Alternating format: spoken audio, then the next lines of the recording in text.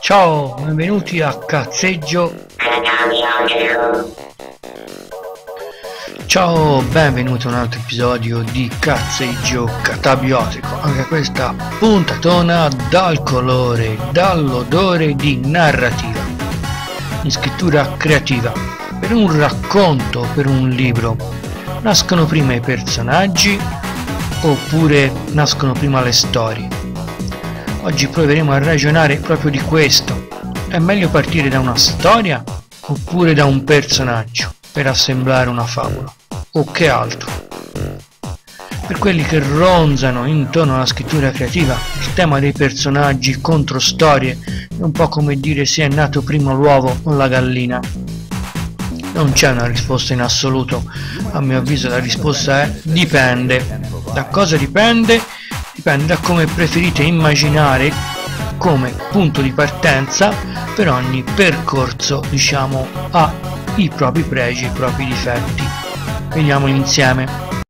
1 se partite dai personaggi. Ecco immaginiamo che quello che vedete a video sia il vostro personaggio principale.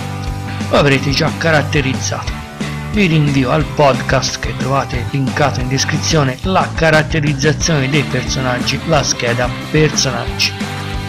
Ecco, ma a partire da, con questo approccio ho lo svantaggio che come potete vedere il personaggio è immerso in uno sfondo bianco, ossia esiste solo nell'iperuranio e non ha nessuna storia, il personaggio non ha un ambiente.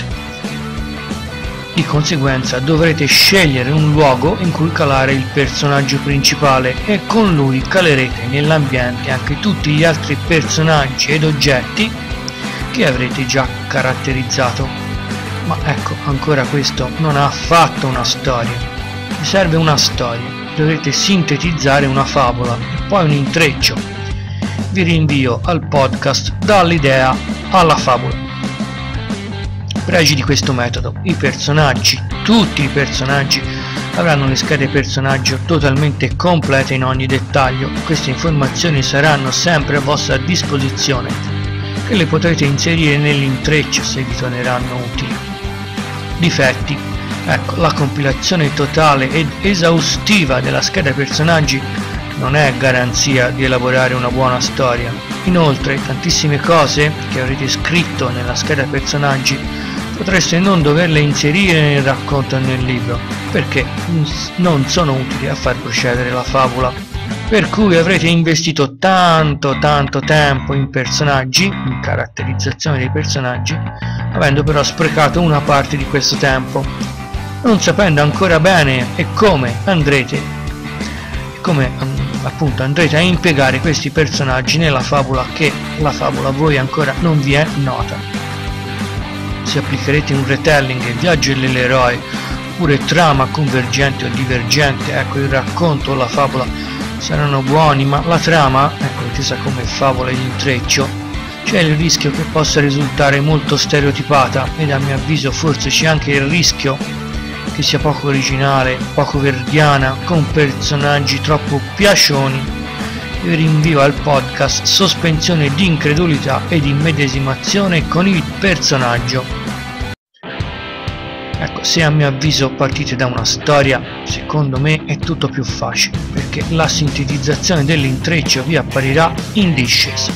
2. Ecco, se partite da una storia, una storia potente, avrete già tutto quanto sequenziato nella favola. Ad esempio, la storia di Pompei, cioè la storia dell'eruzione del vulcano, la Pindi, nubi ardenti, incendi, lava, tutta la storia è sequenziabile in fasi, in una durata oraria. Avete in mano una bella storia, non vi resterà che introdurre personaggi e substorie che si intrecceranno nel grande macro evento dell'eruzione vulcanica di Pompei.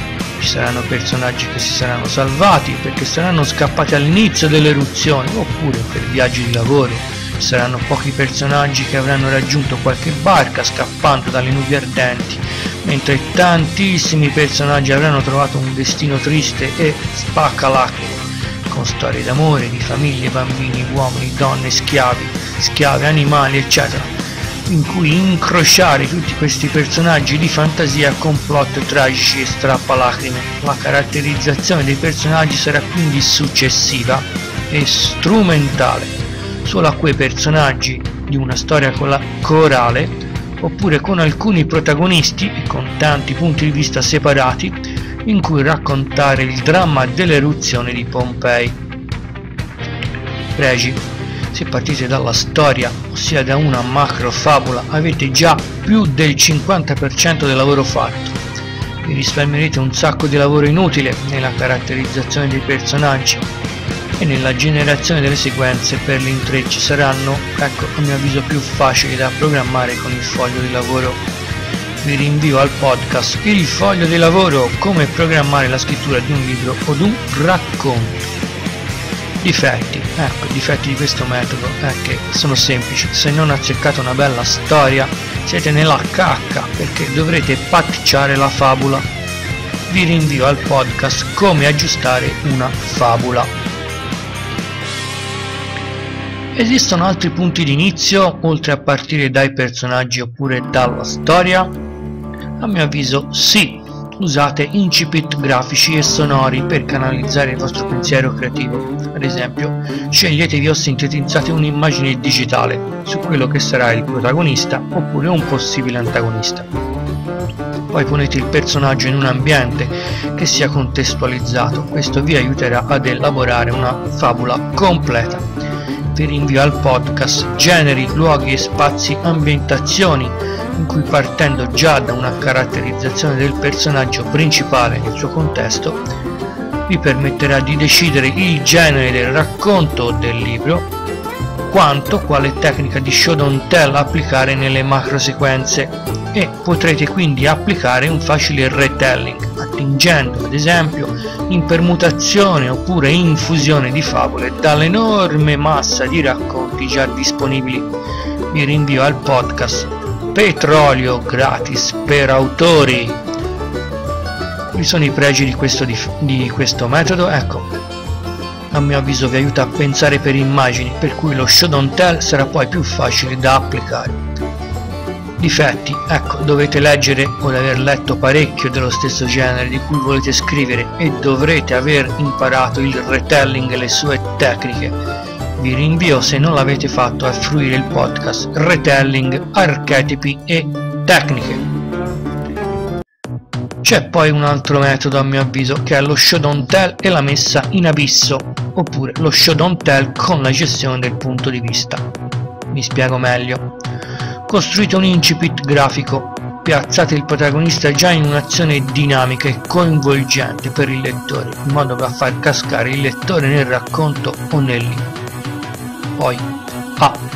Usate la messa in abisso per sintetizzare dallo show don't tell di apertura il resto della trama mancante. La peculiarità della tecnica della messa in abisso, oltre a fare da incipit di apertura e chiusura di un racconto, ha la proprietà, appunto la messa in abisso, che è declinabile in altro modo, ossia è possibile recuperare la messa in abisso come similitudine e senso riassuntivo di tutto il racconto. Ad esempio Philip Dick il problema con le bolle. Quello che fanno gli umani con i micromondi è la messa in abisso. E poi lo si ritrova in tutto il racconto che fa anche questo da colpo di scena dello stesso, dato che la stessa cosa che facevano gli umani ai micromondi sarà ripetuta dagli alieni sugli umani. Pure rovesciate ed allargate il punto di vista dello show don't tell iniziale con il protagonista, riscrivendo lo stesso evento però osservato dal punto di vista degli alieni, magari due tipi diversi o più di culture aliene a bordo delle proprie astronavi che sono in visita sulla Terra per ragioni diverse. Ricordate, se pote, ponete, anzi se porrete almeno tre punti di vista diversi nel vostro racconto o nel vostro libro, Ora non sarà necessario porre nel racconto oppure nel libro un colpo di scena e la favola potrebbe anche essere molto semplice.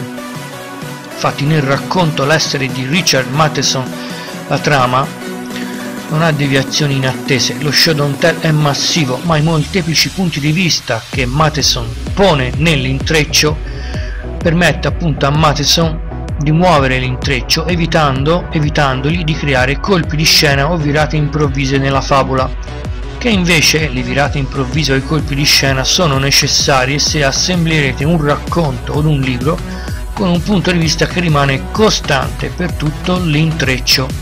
Vi rinvio a fruire il podcast se non l'avete fatto, la gestione dei punti di vista segreti di scrittura creativa. Questa puntata è tutto, un saluto, ciao, alla prossima.